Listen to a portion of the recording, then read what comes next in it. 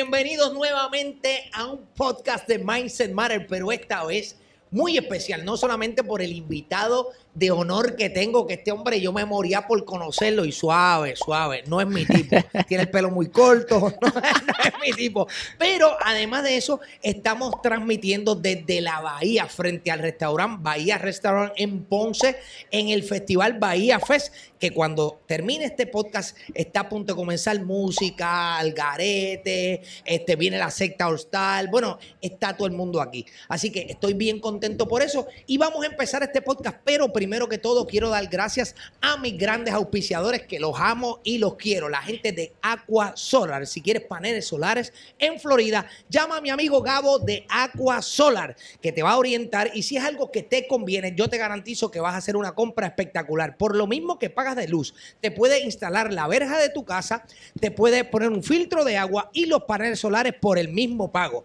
Queremos agradecer a la gente de J&J Auto Sales ¿Tienes el crédito malo? No importa. ¿Cuánto tienes? 480 de empírica. Te quitaron un carro hace tres meses por no pagarlo. Julio te aprueba. Y si dices que vas de parte del podcast de Mindset Matters, la garantía del carro extendida en tu carro usado va por la casa. ¿Te gustó? y por último, a nuestra gran amiga Caria. Si tú quieres comprar una casa en Florida, tú tienes que llamar a Caria Ortiz de Forteza Realty. Tienes que llamarla porque Caria te consigue la casa que tú quieres en tu presupuesto, te consigue la aprobación, ella tiene los agentes que trabajan con crédito, ella misma es lender, financia, lo hace todo. O sea, tú entras a la oficina de Caria y sales guiando para tu casa nueva. Así que llama a mi amiga Caria y compra tu casita, ya deja de vivir alquilado. Y ahora sí, Vamos a empezar. Yo voy a, mira qué interesante es esto. Yo voy a decir quiero un fuerte aplauso, pero esto yo lo pongo en postproducción. Durísimo. Yo tengo en gente en postproducción. aplauso. Un fuerte aplauso a nuestro gran amigo invitado de honor, Cristian La Máquina Aliceo. Javi.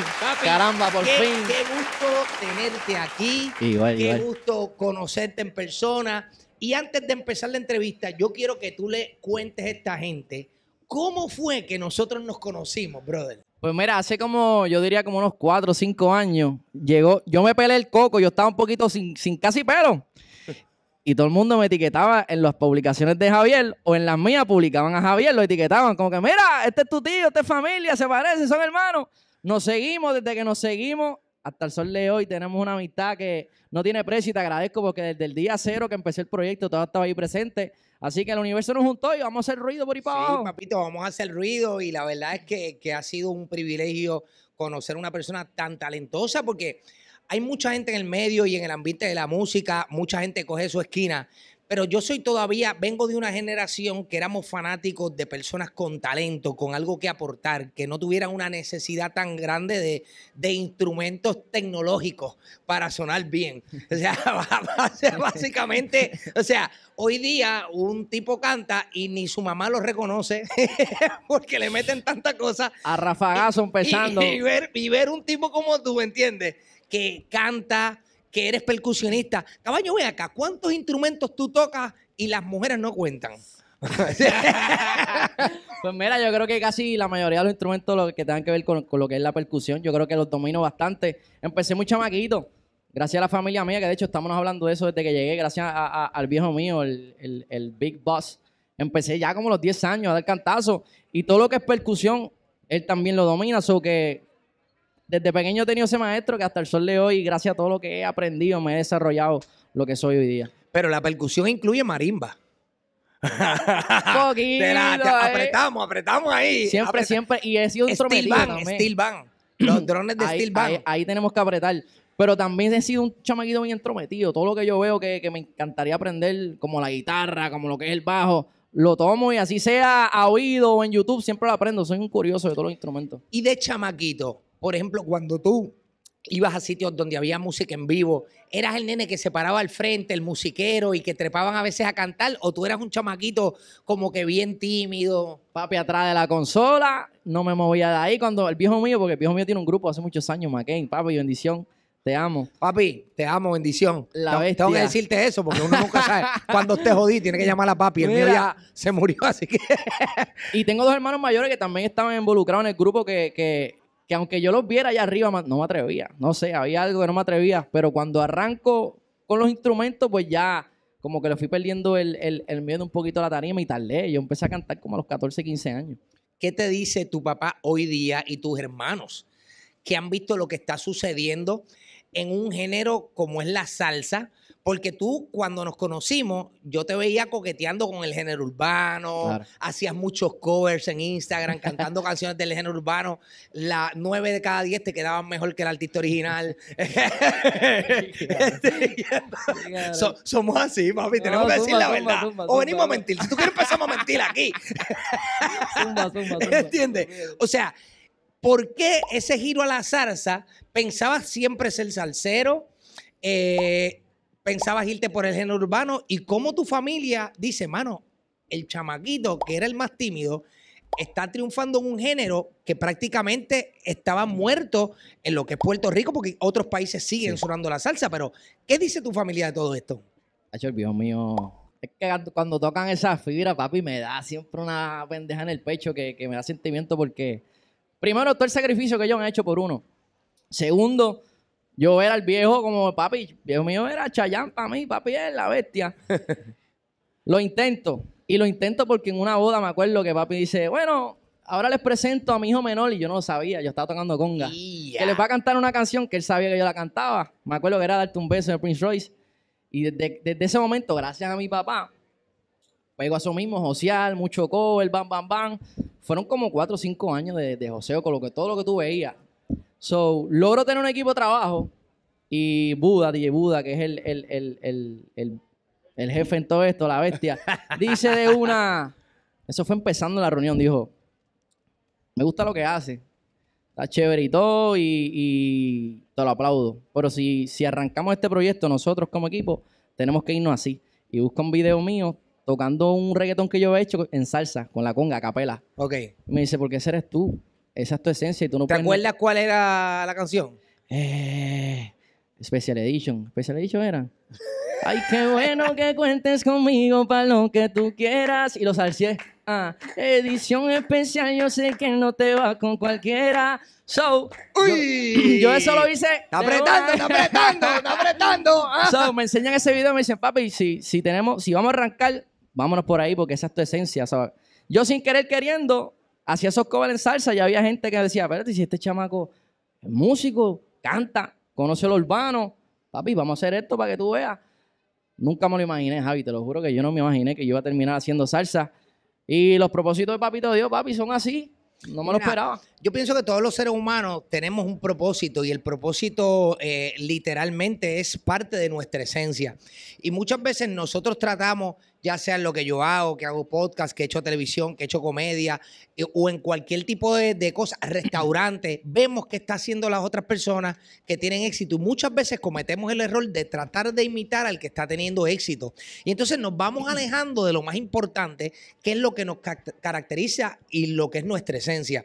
Cuando las personas se atreven a hacer lo que realmente aman y le apasiona, los que te ven, puede ser que le guste o no lo que tú haces, pero reconocen que te estás atreviendo a hacer lo que ellos no se atreven porque también tienen un propósito, pero por estar buscando un éxito disfrazado de un personaje que no son ellos, no consiguen el éxito y tampoco son felices. O sea que yo estoy convencido de que la gente cuando te ve en un escenario, cuando te ve haciendo un reel, notan que ahí hay un tipo que está haciendo lo que nació para hacer. Y entonces eso es algo que es admirable y es algo que, que es de respeto. Y yo creo que el éxito más grande no es que te conozcan el mundo entero, no es que vendas muchos discos, eso es bueno, es ganar mucho dinero, pero pasar por la vida haciendo lo que tú amas es vivir de vacaciones 24 horas. Y es, y es algo que tú estás haciendo, hermano. Real, Mira, yo llegué, yo, Javi, mala mía, que llegué un poco tarde. ¡Ah, vivo tranquilo, que sí, qué sé yo! Hubiese sido un trabajo normal, papi. Ya yo tuviese un memo hace rato. No. Esta es la dicha de hacer lo que nos gusta. No, no, pero es que empezaste mal. Porque, eh, o sea, si tú vas a ser una estrella, tienes que llegar tarde. Los que llegan. Yo venía con el pecho apretado. Yo, Pero, oye, le estaba contando a los muchachos que Héctor Lavoe en Nueva York una vez iba a cantar y él llegaba tarde muchas veces y no llegaba y no llegaba y no llegaba. Cuando llegó por fin estaba en un estado, ah, parece que no había dormido porque estaba en un estado, casi no podía tocando, hablar, tocando, casi no podía hablar y se trepa en el micrófono, eso, eso es historia. Y dice, mi gente, no puedo cantar porque estoy bien arrebatado. Y la gente empezó a aplaudir. Y se quedaron con aquello allí y el tipo no cantó. O sea, Papi, era un tipo tan querido que Exacto. pasó así. Y el tipo literalmente hizo una carrera llegando tarde y Héctor Lavoe es una gloria. Para mí Héctor Lavoe es... Yo, yo escucho su música. Y yo estamos una zona gloria. la voz, estamos Ponce. Y cuando empezó el género urbano, que yo trabajaba en televisión y radio, que empezamos a entrevistar a los muchachos del género urbano, ya era bien difícil que llegaran temprano. Incluso en programas en vivo en televisión. O sea que si estás llegando temprano es lo único que tienes que arreglar. Dijo, no, Tiene llega, que- más, llega más tarde si Tienes quiere. que, tienes eso. que llegar tarde para lograrlo. Hacho, pero eso es una de las cosas que, hijo mío, papi, yo llegaba un minuto tarde. Jodido. ¿Cuánto te, cuánto te tocaba hoy? ¿Cuánto ibas a cobrar? Checate a ver. Ah, mala tuya, llegaste tarde. So que son cosas que uno se lleva, pero en parte es bueno, no diga eso. No, sí, no, no, oye, yo, yo, yo estoy vacilando, pero yo, yo creo que yo soy de las pocas personas que yo nunca llego tarde. Yo digo que llegar a tiempo es llegar tarde. Porque a uno se le puede explotar una goma, puede pasar 20 cosas. Y en el campo artístico, aún más temprano debería uno llegar porque eh, hay un público que quiere a uno, que aprecia a uno y es una falta de respeto para los que están ahí desde temprano esperando ver a uno. Así que no me hagas caso cuando estoy vacilando. Co- co- coge las cosas en serio. Ponte pa- vamos a ser serios. Vamos Oye, a ser que serios. mañana canto en Isabela. Yo, espérate, no, no, no, vamos a pensarlo. Cristian, eh, ¿lograbas imaginar, digamos, hace un año y medio atrás, lograbas imaginar lo que pasaba? Porque incluso en un momento dado, varias veces hablamos por teléfono y yo te decía, papi, dime qué estás haciendo. Bueno, yo te llegué a decir que si no pasaba nada, yo te iba a filmar. Sí. Yo te dije, mira, si no pasa nada, y me dice, mira, Javier, estoy mirando a una gente ahí, no pasa nada, pero ahí vamos. Pero notaba que tenías ese struggle, esa lucha, tenías esa inseguridad, pero te imaginabas que iba a llegar donde estás llegando ahora, las puertas que se están abriendo, o nada. Hacho, nada que ver. Tú cantarle Nada unas ver, patronales ahí. ver, porque en, en todo ese proceso, loco, yo estaba también en una estación trabajando. Era como que, sí, estoy haciendo todo eso, en las redes estamos dando, pero estoy uniformadito trabajando mis ocho horas. De bombero. De Porque bombero. el hombre es bombero, papito. Era, era, el bombero que canta. siempre, eso siempre, el bombero bombero. que canta. Papi, literal. So, yo estoy soñando, pero a la misma yo estoy trabajando y estoy en una zona que también es peligrosa porque soy un chamaquito, tengo mi trabajo, trabajo mis ocho horas. ¿Todavía estás trabajando de bombero? No, no, no, no. Ah, no, no, no. Porque, porque renunciaste ahí. Sí, sí, sí, sí, sí. Ok. Pero lo que voy, que también mucha gente nos pasa cuando estamos en una zona que estamos bastante confort, a veces no, no sabemos escoger la verdadera prioridad. Claro. Pero te lo juro que no, no me he imaginado nada, loco, nada, nada más, ni estar aquí enfrente tuyo. Todavía, no, todavía nada. no. Yo, que- ya, olvídate de eso. yo- De verdad, de verdad, brother. Mano, yo, yo siempre supe, yo creo que no hay ninguna persona que pueda ver un, tu Instagram, incluso los videos que hacías haciendo chistes, vacilando, que no pudiera notar el nivel de talento que tienes, el nivel de, de realidad como ser humano. Y, y hace falta, de verdad, Cristian, hace falta gente así, mano, que sean reales, gente que, que nos devuelva esa razón para inspirarnos, ¿entiendes? Para atrevernos a hacer cosas. Y, y más de donde uno es. Mi varito ahí del área que, que, que, que a veces hasta uno se cohibe por eso mismo. ¿Cuáles son los mejores limber en la área? Hacho, los de teta. De verdad. Hacho, los limber de teta en el Doctor Seguín, en el caserío Doctor Seguín, donde yo me crié toda mi vida. Tienen que darse la vuelta. Los limber de teta más ricos que O sea, tú vas no a son los probar. del pueblo que están allí, que son es bien que esos famosos. mismos, sí, sí, esos mismos ahora tienen como un Ah, una establecimiento. franquicia. Sí, sí, hasta en Barceloneta están, papi. Esos limber de teta han corrido de Puerto Rico ya. ¿Cuál ha sido el momento más complicado dentro de tu carrera? Quizás una decisión que has tenido que tomar. Quizás eh, yo sé que has estado haciendo viajes. La gente ve el artista en Instagram, la gente ve el artista en la presentación, pero la gente no sabe. Yo no sé el caso de Cristian, pero cuando un artista está empezando, literalmente es como un negocio. Tú estás metiendo dinero, estás invirtiendo con ese sueño, esa ilusión de que en algún momento tú recuperes. Y muchos artistas que vemos viajando y los vemos presentándose y la gente cantando, no sabemos que están en un cuarto de un hotel y está durmiendo en un solo cuarto todo su equipo de trabajo. Y que hay, eh, ¿cómo te digo?, sábanas en el piso y que todo el mundo está ahí joseando. ¿Has pasado por ese proceso? Todavía. Todavía, Todavía todavía, la gente dice, ya lo llenó allí, pero está bien, pero dormí. Toda- todavía, todavía, y, y te lo juro, y me siento cabrón, como que puedo dormir en un sofá hoy mañana en el piso porque tengo que grabar, porque al otro día tengo que levantarme y no, y no, no me duele, no me molesta. Y yo creo que eso es parte del proceso. He aprendido a, a enamorarme de ese proceso, porque no te, no he tenido que al principio chocante cuando tú, espérate, espérate, ¿qué hora es? Voy para casa, ¿dónde? Pacho, me quedo aquí en autoexpreso, pum, autoexpreso, pa, en el paseo, pa, pa, no- son muchas cosas que uno Wow. vive, loco. Y antes cuando trabajaba era peor, porque te- tenía que trabajar mis ocho horas, ir para el estudio, a veces en el mismo estudio dormía dos, tres horas y regresaba a la estación. Este, pero lo más difícil, lo más difícil, mano, yo creo que lo más difícil es aceptar el proceso y solo, porque en el proceso no todo el mundo lo ve, el proceso no todo el mundo, ¿me entiendes? Lo entiende. Y tú no te puedes tampoco encojonar, porque no, no todo el mundo sabe lo que tú sientes, lo que sueñas y lo que, hasta dónde quieres ir. Yo creo que es eso, el proceso es lo más. No todo el mundo se encariña del proceso, lo entiende y, y- y- y lo soporta.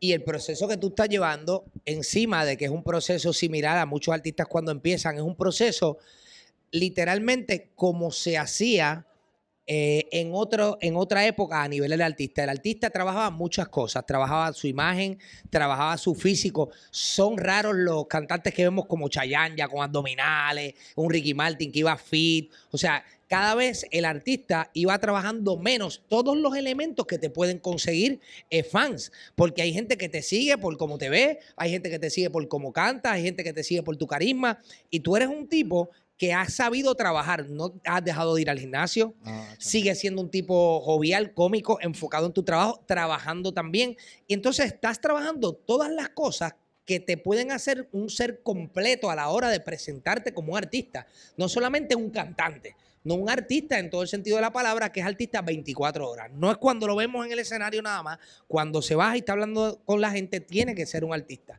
Y tú lo has estado trabajando, estás más en shape ahora que lo que estaba cuando empezaste. Sí. ¿Tú te acuerdas lo que tú me dijiste una vez? Claro, ¿Qué claro. fue? Ahora dime tú, ¿qué fue lo que tú me dijiste? Bueno, yo te dije muchas cosas, pero una vez te dije, trabaja todos los días como si nadie te conociera, no importa dónde llegues. Fue una de las cosas que te dije, pero hemos hablado tantas cosas. Si me das un like. Vete loco, no te cohibas en quitarte Ah, para, espérate, vamos. Vamos a eso ahora, vamos a eso ahora. El que sigue a Cristian Alicea se da cuenta que nueve de cada diez posts no tiene ropa puesta. Eran monteros. ¿Qué pasa? ¿Qué pasa? Ok, ocho de cada diez. ¿Qué pasa? este. No, no, escúchame. Eh, Cristian en un momento dado se quitó la camisa y qué sé yo, hizo un post así haciendo ejercicio y en el escenario cantaba. Y un día estábamos hablando y estábamos diciendo que todos los artistas antes tenían un gimmick. Por ejemplo, en la salsa siempre era como un eslogan. Un Gilbertito decía, camínalo, dice, camínalo. O sea, y todo el mundo tenía algo que los distinguía. Habían cantantes de rock en la época de los 80 que cuando estaba terminando el concierto tiraban la guitarra contra el piso y la rompían. Y eso era parte de su gimmick. Es parte, ya la gente espera eso del artista. Un día yo le digo a este caballero, mira, Cristian, ¿sabes qué? En todos los shows, en algún momento dado, quítate la camisa y tírala para el público porque te ves ready, estás en shape. Error. Porque es que ahora empieza sin camisa. Ahora no lo pienso, yo escucho, quítatela, yo qué. ¡Wow! O sea, la gente te lo pide ya en el público. Sí, ya. De hecho, hace poco estuve en, en, en Eco, en San Juan, cantando. Y terminó el show que se cuando vi el DM. Mira, fui con mi mamá y no te quitaste la camisa, venimos de tal lado. Yo, ¡eh! Ya, re-". que es real lo que tú estás diciendo, sin querer queriendo, ya uno está creando como una perspectiva a, a- a la gente. Y es complicado, porque entonces no puedes fallar al gimnasio. Porque imagínate, si te quitas la camisa y te ves como el bronco número dos, no. no, la cosa, la cosa no va a ser igual. real, sí. Hermano, momentos de tristeza tienes que haber pasado. Momentos donde pensaste quitarte quizás, o momentos que la carrera te ha llevado literalmente a, a- a tener desganas, aunque sea tu pasión. ¿Te ha pasado eso? Sí, y todavía. Todavía. ¿Te- Eh, te- ah, ¿Recuerdas algo? Al- al- ¿Alguna anécdota en particular que tú dijiste, mira, mano, esto no está funcionando?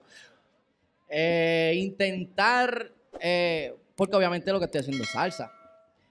Intentar llegarle a, a los salseros en general, o sea, a los artistas salseros. Tú dices el salsero de la mata, el purista, Ah, que exacto. tiene su grupito Claro, y dice, claro, espérate, claro, ese chamaquito, déjame ver quién es. Ok. Pero en todos los sentidos, los que son promotores, eh, radio, llegar ahí, tú, tú, cada rato intentar de, mira, esto es lo que está, mira el público que está siguiendo, mira esto, podemos hacer esto. Mira, a veces hablo de otros compañeros míos, Luis Figueroa, Luis Vázquez, son unos chamaquitos boricuas que están haciendo salsa, Carlos Nevares. Mira, vamos a tratar de, boom, boom, hacer un movimiento, porque yo solo no puedo tampoco. Claro. Se necesita un movimiento. Y, y no estoy solo, o sea, es una lucha de mucha gente. Entonces, tú saber que hay potencial, saber que, que- que hay todo lo necesario para que el público se enamore y para que la gente siga nuevamente este movimiento nuevo salsero y que a la misma vez tú sientas que como que, ah, chévere, como que, caramba, pues vamos a seguir. A la misma vez gasolina para uno, claro. pero, coño, uno trabaja durísimo, brother. ¿Te preguntas todavía contra, escogí el camino correcto en la salsa o debí, quizá a lo mejor hubiese cantado No me arrepiento. un reggaetón y a lo mejor Ah, hubiese pegado número uno en el mundo, aunque has tenido ya varios temas charteando en sí. números brutales. Ahora mismo Aroma todavía está en las listas de Billboard, so que no, no, no me arrepiento, no me arrepiento. No me arrepiento. Y lo que te digo, hacer, hacer esto es un proceso. Lo que pasa es que obviamente uno, sabiendo lo que hay, uno siempre anhela más. Pero eso es parte de. ¿Eres o eras enamorado? Soy. Soy, soy. Soy, soy, soy, Oye, el hombre vino a decir la verdad. El hombre, el hombre. Soy, no hay Ok, break, no hay break. ¿cómo se brega con eso? Porque es que yo me estoy transportando a tu edad, claro, yo era un tipo bien, yo era bien serio, yo no era... El- el- el. Preguntándome eso a mí. Cállate, no digas nada, no digas nada. Que para allá no había ni Ok, Facebook ni nada. Pero escucha, ¿cómo uno brega cuando conoce una jevita o algo y viajando tanto y aquí y allá? Y, y- y de momento sube un story y te dice, ¿y esa que estaba allí atrás en el story? ¿Quién era aquella? O sea, ¿cómo uno brega para tratar de tener una relación y, y estar todo el tiempo de viaje, ¿entiendes? ¿No? ¿Cómo, ¿Cómo se hace eso? tener una relación como tal, hacho, es complicadito.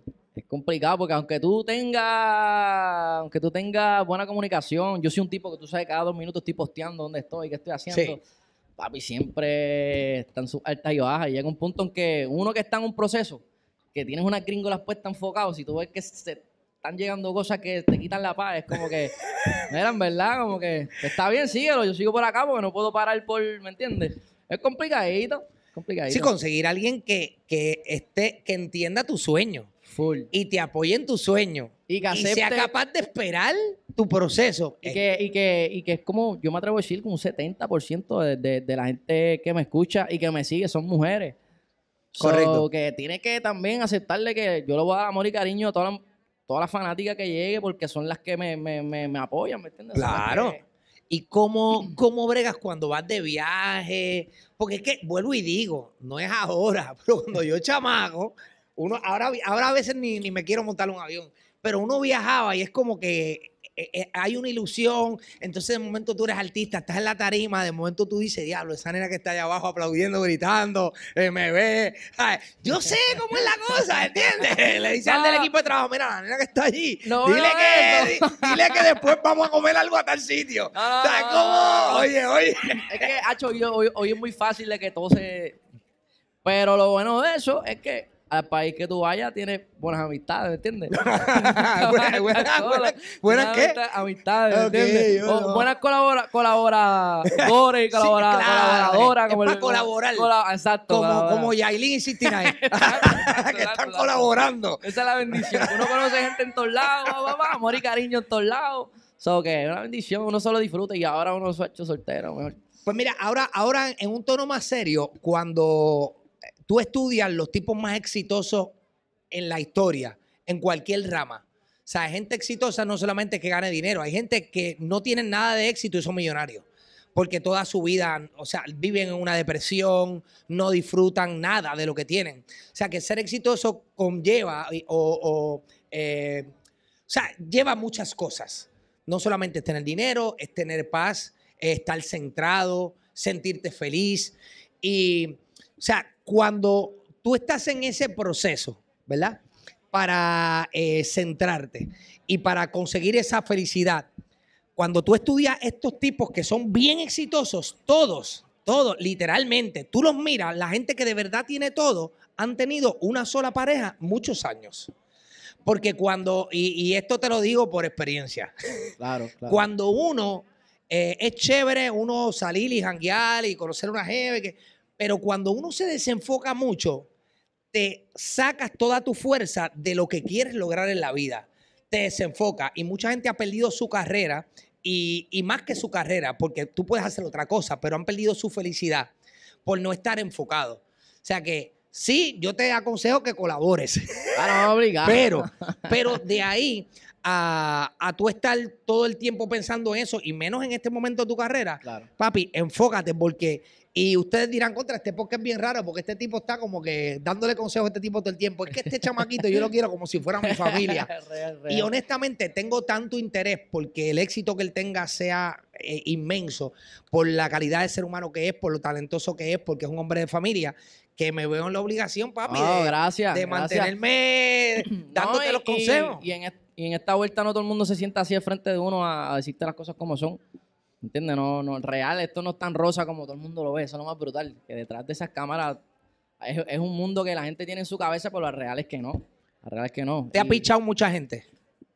Ah, sí. Válame Dios, claro que sí. Artistas pichándote. Sí. Alguno de los artistas que te. No vamos a mencionar los nombres, pero Sí. alguno de los que te pichó, de momento ya te llamó. No Ah. que quizás me llamó, pero por lo menos reacciona. Estamos aquí, cositas así. sí, sí, ok, sí, sí, sí. le dan like. Ah, Nunca claro. me contestó, pero ahora ve los stories. Full, full, full, full, sí, pero sí. Pero es como te digo, tampoco me de esto porque en un proceso, en un proceso no todo el mundo te tiene que creer ni te la tiene que dar. So, pero nada, ahora están ahí presentes, que eso es bueno. ¿Con quién te gustaría colaborar algún día? Hacho son muchos, son Sí, demasiados. pero siempre hay un nombre que es el primero que viene. Hacho Marc Anthony, la bestia, Hacho, la máquina de guerra. Marc Anthony. Hacho Marc Anthony, sí, porque obviamente desde que entro a la salsa, uno trata de, de- de estudiar a cierta gente, a ciertos artistas, y más uno que, que no me la sé toda, es algo, es un mundo donde entré y donde obviamente uno tiene que adquirir un poquito de conocimiento. Y para uno identificarse con alguien, primero uno tiene que sentir esa conexión, papi, Marc Anthony es el tipo. ¿Cuál es la canción de Marc Anthony que, que tú dirías, contra mano, si yo pudiera cantar esa canción con. Marc? Preciosa. Preciosa. ¿Cómo sonaría? ¿Cómo diga, sonaría? "Mm, Yo sé lo que son los encantos de mi borinquen hermosa, por eso la quiero yo tanto, por siempre la llamaré preciosa. ¡Ay! Ay. ¡Apretando! Yo creo no, que- papi, de verdad, de verdad, que es que hay, talento, bro. de la- Gracias, hay talento. Ah, mira para allá, ya gritó una por ahí, ya, ya gritó. Ese uh fue como femenino. Ese duro. es- y no se ha quitado la camisa todavía. No, en el podcast no se, la, no se la va a quitar. Hermano, qué feliz estoy, de verdad, de, de tenerte aquí y, y ver cómo has ido creciendo en tu carrera. Eh, ¿Qué es lo próximo que tienes? ¿Qué estás pensando? ¿Qué es lo próximo que tiene tu equipo de trabajo? Grabar otro disco, seguir metiéndole, eh, viajar con la- los últimos temas que has tirado. ¿Qué es lo próximo? Pues mira, obviamente el álbum salió en mayo, finales de mayo, todavía estamos dándole candela al álbum. Hay canciones que, como dijiste, están todavía en, los primeros 20 listas en Latin, eh, Latin Airplay en Billboard. So que cuando tuviera Messi, no vas a ver quizá que estoy lanzando canciones nuevas y todo, pero es que tengo un álbum que gracias a Dios está teniendo una dicha. Eh, mañana estoy en Isabela, eh, mañana estoy en Isabela, el lunes arranco para Orlando, que tengo ensayo porque me voy para Nueva York. De Nueva York voy para Milwaukee, loco. Están, ahora mismo la- las bendiciones están llegando, mira, de poquito a poco y siendo unos jibaritos del área, ahora ir viajando, seguir conociendo estados, países, haciendo música, papi. Contentísimo. Dios te ha preparado, hermano. Dios te ha preparado y te ha procesado. Por eso es que antes no se abrían las puertas. Por eso es que antes te pichaban. Por eso es que antes pasaba tanto tiempo y los productores, mano, tú tienes talento, está bien, pero no te filmaban. o mira, eh, tal cosa, pero la disquera no había contrato. Este, y yo sé lo que es social y yo he visto gente literalmente quedándose prácticamente sin comida para poder costear. Yo entrevisté hace poco a, a Baby Wine y ella en un momento dado estaba viviendo en un home. Estaba viviendo en un home porque si ella pagaba una casa, no le sobraba dinero para pagar el estudio. y ella está firmada ahora con Nelson, pero ella, ella tenía que vivir en un home, trabajar y entonces, no, como no podía trabajar och- ocho horas, trabajaba seis y con e- e- esas dos horitas adicionales se las metía a escribir y se las metía a ir al estudio. Y ya gracias a Dios está siendo conocida, ya viene por ahí un EP con ella, con Nelson y otros artistas. Con Angelina, hace poco estaba con Sí, Angelina. estaba con Angeli hace poco. Y es una persona que, que literalmente no- nos inspira. Y tú no eres la excepción.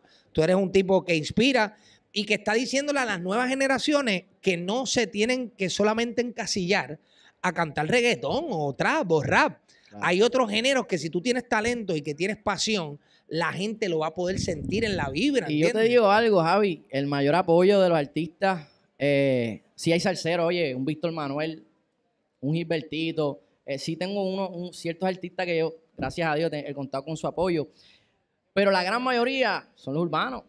Un mismo Don Omar, que, que hace poco lo conocí, hasta el sol de hoy, papi, A fuego, ese es pana, ese es otra pana. cosa, este, qué sé yo, un guaina que hasta otros días estábamos en el gimnasio, un- ¿y tú crees que yo me imaginaba eso? Y yo quizás si me hubiese quedado haciendo lo que estaba haciendo, no hubiese tenido quizás admiración, respeto sobre la salsa para mí, así de brother. So que chamaquito que me escucha, la salsa te puede abrir muchas puertas, te lo estoy diciendo, si tienes talento, hazlo, métele a dos manos para que tú veas. Y muchos cantantes del género urbano querían ser cantantes de salsa. Aman la salsa, brother. O sea, eh, el mismo Don ha cantado salsa en sus conciertos.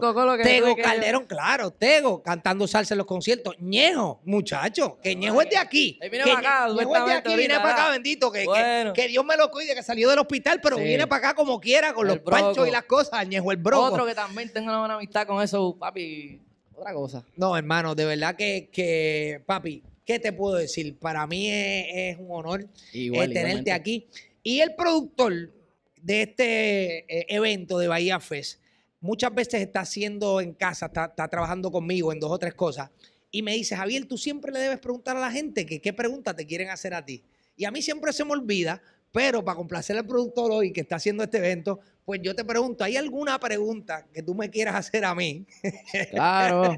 que, que yo, que quieras que yo te conteste? Pues mira, yo sé que tú, tú has tenido muchos procesos. Este, y en tu peor momento, en donde peor tú te sentiste mental y físicamente, ¿a qué tú te aferraste?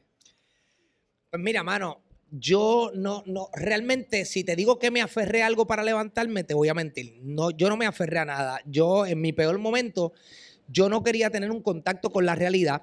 Yo no bebo, bien raro, me puedo beber un mojito así o una copa de vino, pero yo no, eso de que vimos a Javier borracho, o sea, yo, muy raro que yo me di un palo.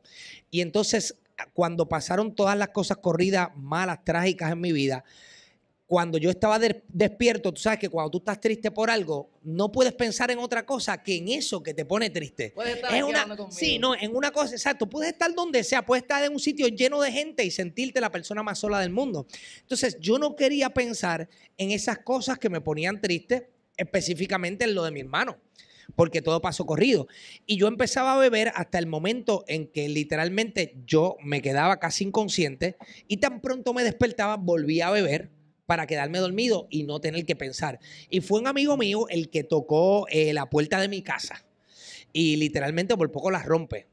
Y no me dijo, mira, vente para acá. No, no, me insultó. Me dijo, mira, ven acá, tú no eres un motivador. Tú no eres un tipo que entrena. Parece mentira. Le faltó poco para darme. Y la verdad es que, me hizo despertar. Y comprendí que tenía una gran responsabilidad con la gente. De ahí tomé el celular y vi tantos mensajes de la gente que me escribía por Facebook, por Instagram. Papi, sabemos que te va a ir bien. Y yo me sentí tan avergonzado porque no me estaba yendo bien. Y la gente decía, papi, no, no sabemos de ti, pero es que sabemos que estás trabajando en algo. Y me sentí tan triste, me sentí que todo lo que la gente había hecho por mí durante toda mi carrera, yo tenía que buscar la manera de pagarles eso. Y por ahí fue que empecé a hacer más motivación, me levanté, empecé a entrenar, me hice profesional en bodybuilding y de ahí pues he dedicado cada vez más tiempo a hacer motivación y autoayuda que no me deja el dinero que me deja si hago comedia o si hago otras cosas, pero me deja más satisfacción. Y si tengo la oportunidad de cambiar una vida a una persona que quizá en algún momento me miraba y decía, contra, yo soy fanático de Javier y que ahora está en una situación difícil y que yo puedo ayudar a que su vida cambie a través de mi experiencia, pues mira, mano, eso para mí, al día de hoy, con mi edad y mi experiencia, te puedo decir que me llena más, mucho más que todo el dinero del mundo, mano. Y, son procesos. Va a llegar un momento en tu vida que te vas a dar cuenta que tener un carro bien cabrón es chévere, que, que ganar dinero es chévere, pero hoy día yo trabajo por pasión, yo trabajo por sentirme bien, yo me levanto cada día sin necesidad de un despertador porque la pasión me levanta de la cama y la gente que me ha querido por tanto tiempo son las que por encima de todo me han levantado. Ya, una Así que eso aplauso es lo que a hay. Javi ahí, caramba. Qué duro saber eso porque, como te comenté, todos pasamos por, por, por proceso y a veces te dicen, no, búscate esto, léete esto, arte aquello. Y la realidad es que, por más que la gente te dé consejos, uno mismo tiene que buscar ese, ese, ese rincón donde tú te autoalimentes a ti mismo. Eso, Súper duro, gracias Javier, eres la fucking bestia. No, hermano, gracias a ti. Eh, Cristian Alicea Corillo, un aplauso a Cristian. De verdad que te deseamos mucho, mucho éxito. Cristian, la canción que pensaste que la pusiste en un disco o la grabaste y la tiraste para rellenar. Y dijiste, bueno, esta no es la que va a pegar, pero. eh, y que le gusta a la gente, esa. Y la segunda, la canción que pensaste que iba a ser el palo bien brutal y no pasó nada. Eh, cobarde, yo no pensaba que iba a ser así. ¿En serio? No. No, porque fue la primera que yo grabé cuando salí de toda la vuelta urbana. Fue la primera que yo grabé. Grábate, cántate un pedacito cobarde para que la gente le identifique. Como un cobarde, fui distanciándome de todo lo importante. Como un estúpido inconsciente, ignorante. Fui destruyendo lo que más me hacía bola. El coro dice, un cobarde, cobarde. No tuve fuerza suficiente para enfrentar tu corazón. Cobarde, cobarde. Caminando solitario, ay amor. Uy, jamás pensaba, papi, yo de- desde que oí esa canción yo dije, papi, esto es un palo. Sí, y que tú dijiste, sepa. no, esa no. Acuérdate que yo venía de otro lado. Y hubo una que tú dijiste, esta va a ser un palo y no pasó nada. Eh, es que acabo de soltar el Es que las acabo de que pegar todas. Es que las pega todas. No, y sí, fíjate, como cayó Ah, mami, mami, papi, ¿verdad? Mami, papi, que esa Ah, canción a mí me gusta. Si esa supiera canción me encanta, esa canción, brother. que de camino acá me enviaron la voz de un artista que ya se montó dominicano, una bestia dominicano. Puedo decir detalles, pero se le hizo remix. Estoy tratando de conseguir uno de aquí, de la tierra mía, que era un dominicano en Boricua, para que cuando salga bendición mami, papi, todos esos joseadores se identifiquen más todavía. Yo te llamé y todo y te hablé de la canción y te dije, papi, ese tema está brutal. Y ese tema fue el más que me tardé, porque cada vez que empecé a grabarlo, yo tuve que mutear a papi y a mami, literal, porque no, no podía. De No me salía- no me salía. Y, y, y, y cada, cada verso que tú escuchas ahí eran, eran versos que yo hacía en challenge, que hacía Farruko y el otro, que eran versos que obviamente yo estaba como que ¡ah! Y logré hacer, juntarlos toditos, hacer un rompecabezas y incluir a mis papás ahí. Qué bendición, hermano. Sí, brother. Qué bendición. Bueno, Cristian Alicia, búsquenlo en Spotify, en Apple Music, en YouTube. Si se quieren reír, también síganlo en Instagram. Porque este tipo no para de hacer chistes todo el tiempo, tú sabes. En algún momento él tiene que haber dicho a su equipo de trabajo, papi, ponte serio. No, papi, no. Tú sabes qué? que a veces, tú sabes, todas las mañanas me levanto y a veces me levanto y sigo haciendo lo mismo y me olvida. Y cuando ya yo veo mensajes de la gente, mira, ¿estás bien?